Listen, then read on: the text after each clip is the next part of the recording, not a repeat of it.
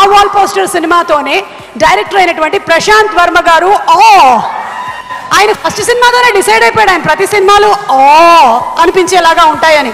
అందుకనే ఇప్పుడు హనుమాన్ సినిమా అసలు దాని రేంజ్ ఎటు వెళ్ళిపోయిందో అర్థం కావట్లేదు అసలు. ఆల్రెడీ దాని గురించి జపాన్లో కూడా చర్చలు జరుగుతున్నాయంట తెలుసా? తెలియదు madam.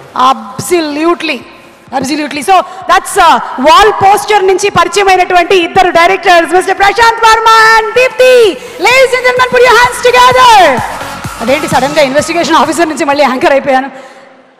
రండి ఈశాని వైపు బరువు ఉండకూడదంట. ఇక్కడ రండి. Come here ya I think మనం డెబ్యూటెంట్తో ఫస్ట్ మాట్లాడించేద్దాం. యా దీప్తి. సార్ రాజమౌళి సార్ని అక్కడ పెట్టుకుని నన్ను మాట్లాడడం అంటే కష్టం. ఒక పని చేద్దాం ఇటు తిరిగి మాట్లాడదాం అసలే కష్టం. So it's it's okay I can only say all the very best, Silesh. It's, I know, I mean, I, it's trailer juicy. I, I asked everybody who killed, who did it. can I know? Can I say see before Ani?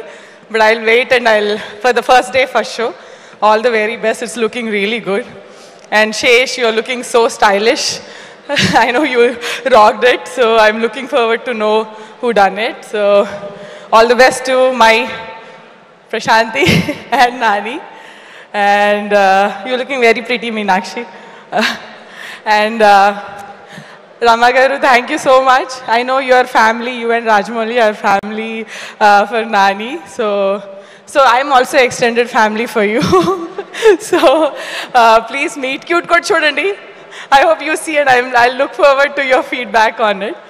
But uh, today is not about Meet Cute. I'm really wishing the very best to Hit 2 team and first day, first show, I'll be there, Salish.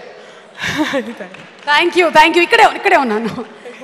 మీరు definitely hit three script అయితే తీసుకొని ఉండి ఉండరు ఈయన తీసుకుంటారంటే ఈయన తీసుకోడు. ఎందుకంటే ఆయన స్క్రిప్ట్లో ఆయనే రాసుకుంటాడు కాబట్టి. పోనీ మీకు తెలుసా అండి ఎవరు తీసుకున్నారు? ఒకసారి మైక్